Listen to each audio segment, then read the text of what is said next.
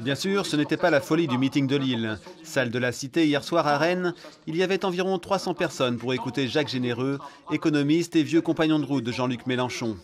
Dans l'Assemblée, jeunes, anciens, ouvriers, petits patrons, retraités, tous déçus du PS, lassés par le pouvoir de la finance et portés par la fougue de Mélenchon. C'est le seul qui dit la vérité actuellement, qui dit, ce qu'on peut faire justement pour, euh, pour l'inflation et ce qui, s'ensuit. Qu'est-ce vous dans sa politique bah, Qu'il est vraiment de gauche et qu'il a des mesures euh, assez radicales pour changer les choses. Je pense que la hausse des salaires, notamment avec le SMIC à 1700 euros, est quelque chose à mettre en avant, mais aussi euh, tout ce qui est taxation plus forte des revenus. Et puis on voit que ça marche, ça a été repris euh, par, beaucoup d'autres candidats. On a l'impression qu'il y a toute une population qui a été abandonnée, et je crois, mais pas au sens d'une croyance qui serait pseudo-religieuse, hein, d'accord? Mais je crois quand même qu'il aborde ce sujet-là et qu'effectivement, il n'oublie pas une partie de la population qui a été complètement larguée.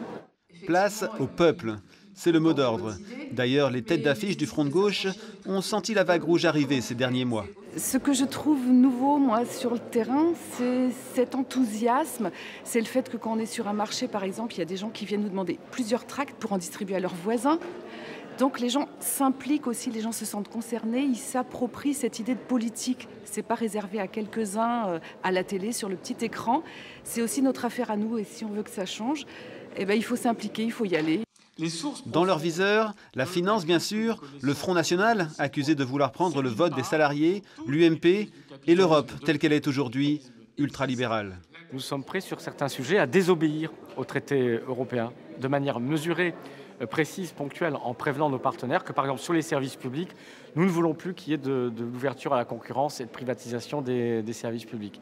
Sur la finance, c'est la même chose. Si l'Europe ne veut pas discuter de l'interdiction de produits financiers, de contrôle des mouvements de capitaux, de réforme de la Banque centrale, eh bien là aussi, nous les préviendrons que nous sommes disposés à agir seuls euh, en désobéissance à certaines dispositions des traités. Aujourd'hui, Jean-Luc Mélenchon est crédité de 14% des voix au premier tour. De quoi incommoder le Socialiste, désormais nouvelle cible du front de gauche.